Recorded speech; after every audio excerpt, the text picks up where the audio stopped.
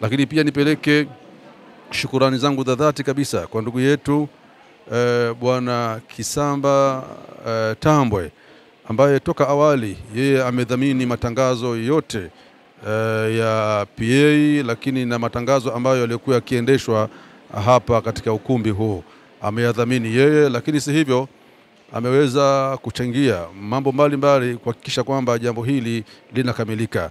Ameongeza zawadi kwa baadhi ya washiriki, lakini si hivyo tu, amegawa iftari kwa baadhi ya mashekhe ambao waliohudhuria hapa. Basi walillahi alhamdu. Viko viti vya JUAKITA ya wilaya, viti ambavyo juzi amewakabidhi kina mama viti mia moja kama mradi wa kuendesha mambo yao ya kibaraza katika wilaya ya Tabora. Kwa hiyo kwa niaba yao basi tukushukuru bwana mkubwa kwa hayo ambayo ulioyafanya.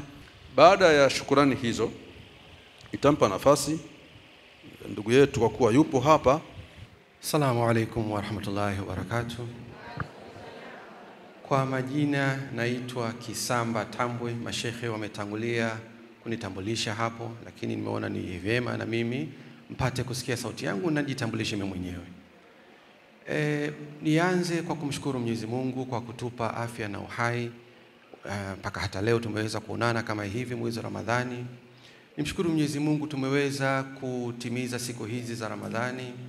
Tumuombe Mwenyezi Mungu katika siku zilizobaki tuweze kuipata Lailatul Qadr. Nami labda niendelee kuwapongeza wote walioweza kuchangia.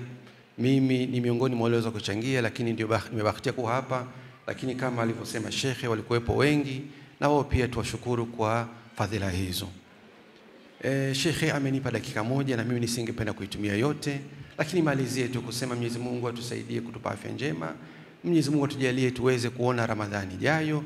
Mwenyezi Mungu aweze kutujalia riziki ya kutosha na ya halali. Assalamu alaikum.